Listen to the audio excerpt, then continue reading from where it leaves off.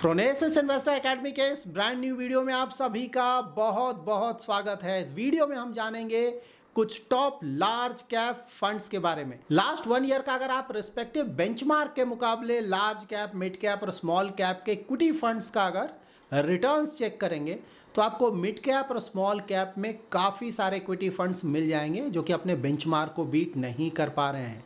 लेकिन large cap में आपको बहुत कम फंड्स मिलेंगे।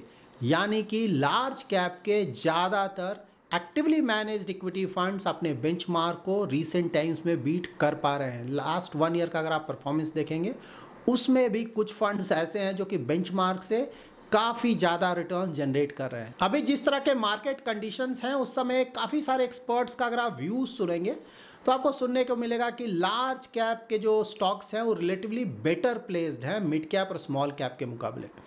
तो इसका रीज़न क्या है? तो इसके थ्री मेन रीजंस हैं। नंबर वन है वैल्यूएशन वैल्यूएशन अगर आप चेक करेंगे तो फॉरवर्ड पी या फिर ट्रेलिंग पी कुछ भी आप चेक कर ले, दोनों ही पैरामीटर्स पे लार्ज कैप के जो स्टॉक्स हैं, उनका वैल्यूएशन या तो रीजनेबल है या फिर स्लाइटली ओवर वैल्यूड है।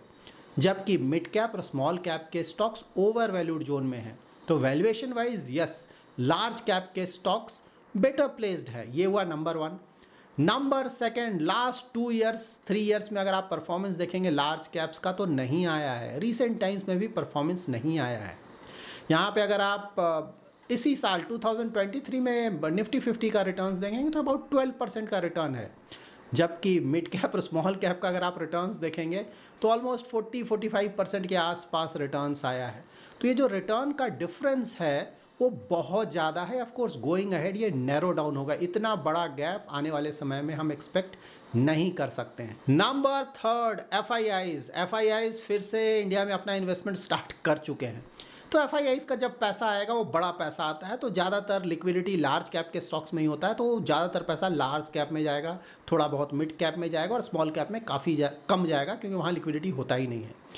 तो बहुत बड़ा पैसा लार्ज कैप में जाने जा रहा है एफ़ का तो उसके कारण भी लार्ज कैप में आप तेज़ी एक्सपेक्ट कर सकते हैं आने वाले महीनों में। सो ओवरऑल लार्ज कैप के ज़्यादातर फंड्स अपने बेंचमार्क को बीट तो कर पा रहे हैं लास्ट वन ईयर में, लेकिन हाँ अगर आप बेंचमार्क का रिटर्न्स देखेंगे large cap mid cap small cap तो मिड कैप और स्मॉल कैप के मुकाबले लार्ज कैप के बेंचमार्क का रिटर्न काफ़ी कम आया है। लेकिन आने वाले समय में ऐसा लगता है कि ये मोस्टली चेंज होगा लार्ज कैप के स्टॉक्स का परफॉर्मेंस रिलेटिवली इंप्रूव होगा। नाउ हम जान लेते हैं कुछ top actively managed large cap equity funds के बारे में। Large cap equity mutual fund category में करेंटली 30 फंड्स ऐसे हैं जिन्होंने अपना वन ईयर कंप्लीट कर लिया है। उन सारे 30 फंड का डिटेल आप यहाँ पे चेक कर सकते हैं। उनका यू एम यहाँ पे है। उसके साथ ही इनके डायरेक्ट प्लान का returns one year three year five year और टेन ईयर चेक कर सकते हैं और साथ ही बेंचमार्क का रिटर्न्स भी चेक कर सकते हैं।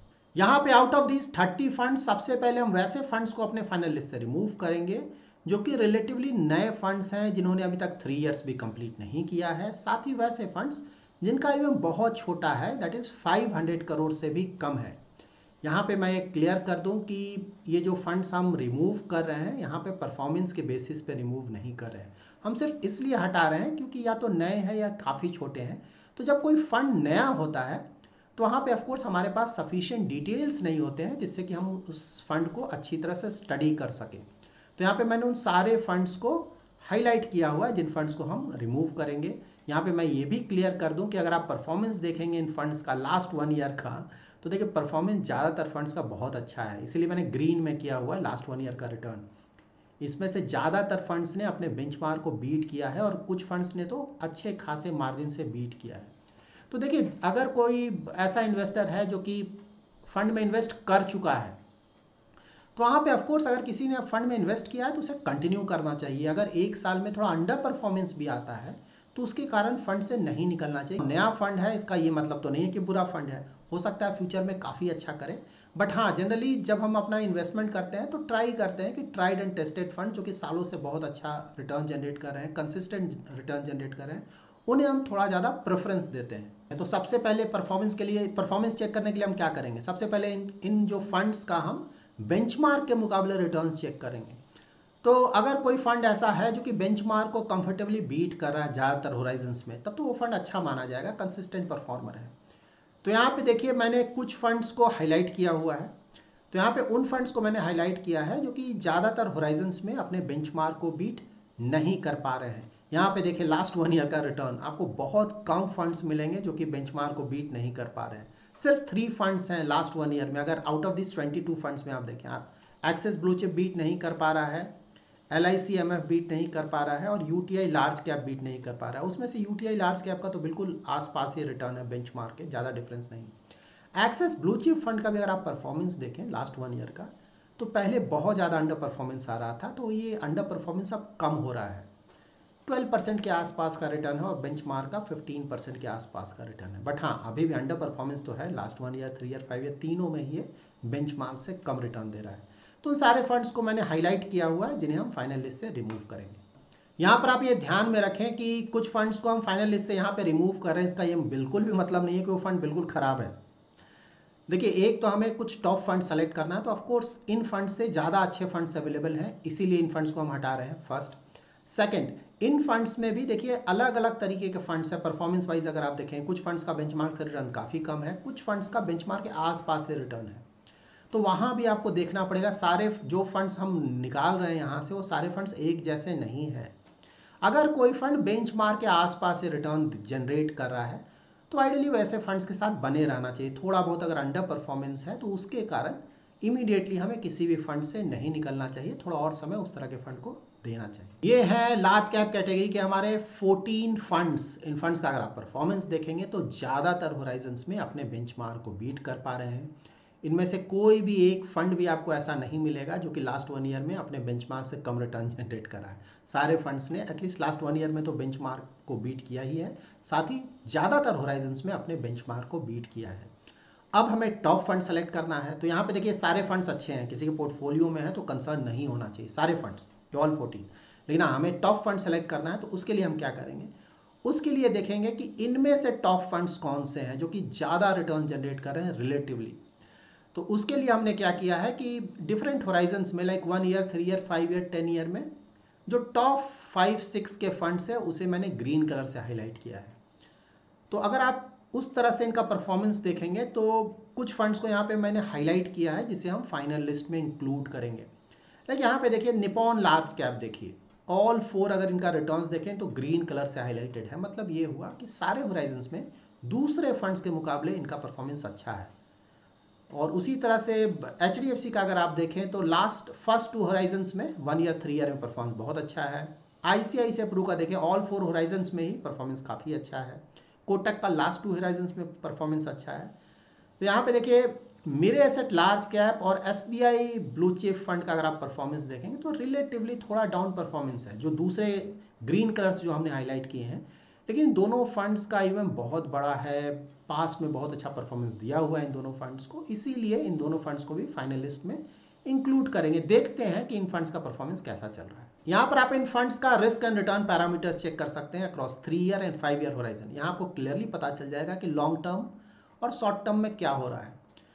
तो देखिए शॉर्ट टर्म में तो सारे ही फंड्स का परफॉर्मेंस ठीक था, हमने देखा था वन ईयर में, सारे फंड्स अपने बेंचमार्क को बीट कर पा रहे हैं। लेकिन थ्री ईयर होराइजन में अगर आप देखेंगे तो देखिए इनका शार्प रेशियो अल्फ़ा आप देखिए।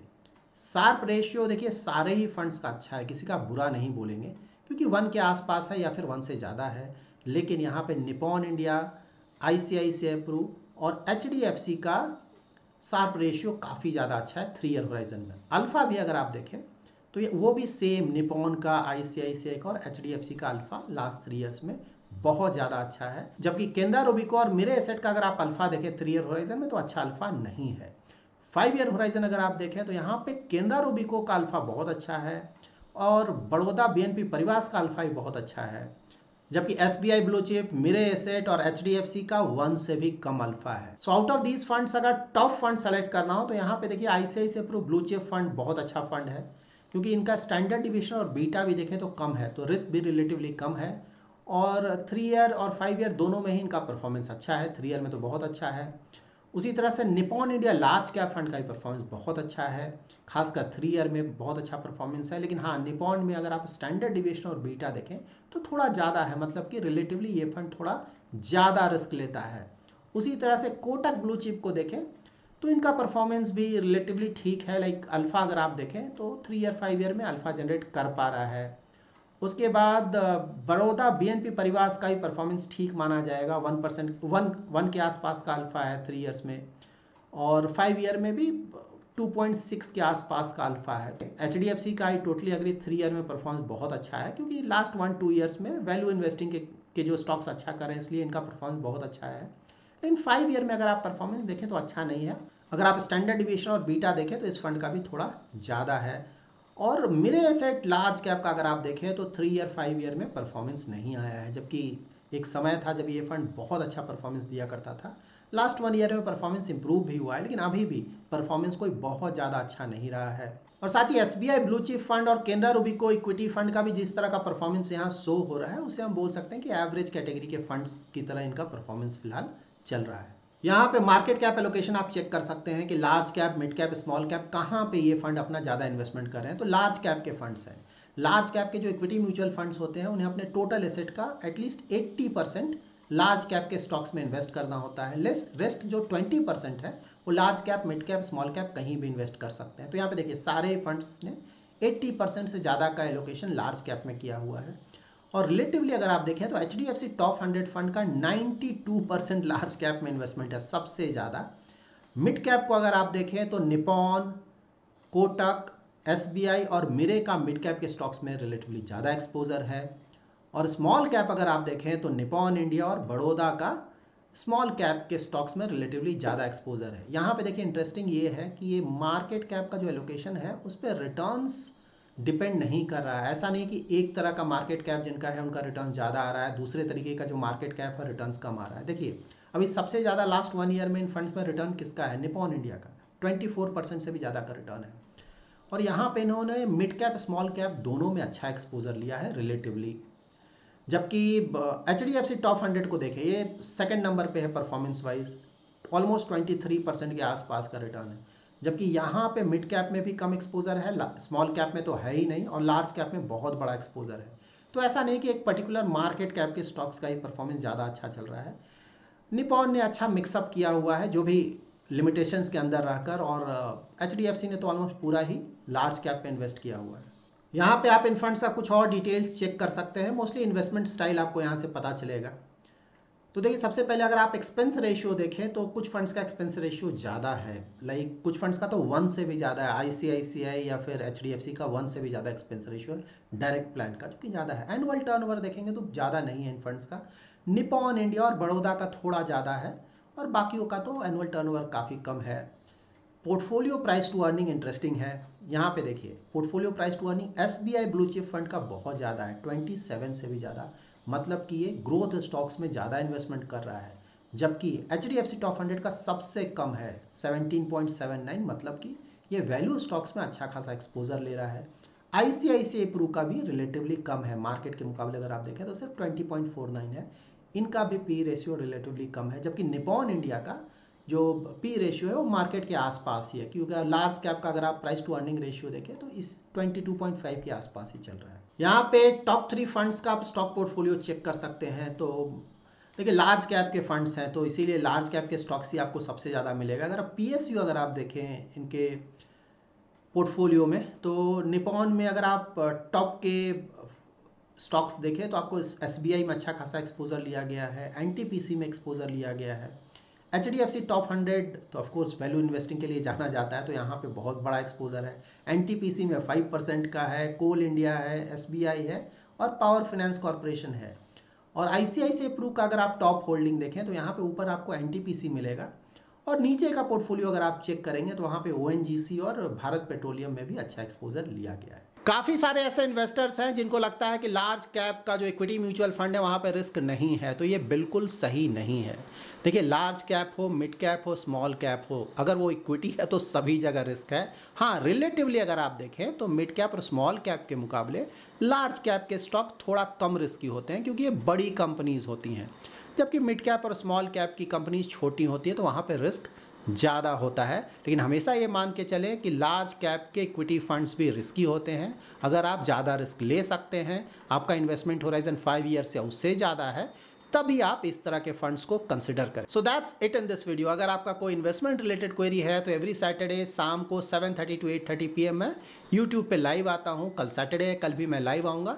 तो आपका कोई भी इन्वेस्टमेंट रिलेटेड क्वेरी है और अगर आप Phronesis investor academy YouTube channel के सब्सक्राइबर हैं तो आप अपना क्वेरी वहाँ पर पूछ सकते हैं। Thanks lot for watching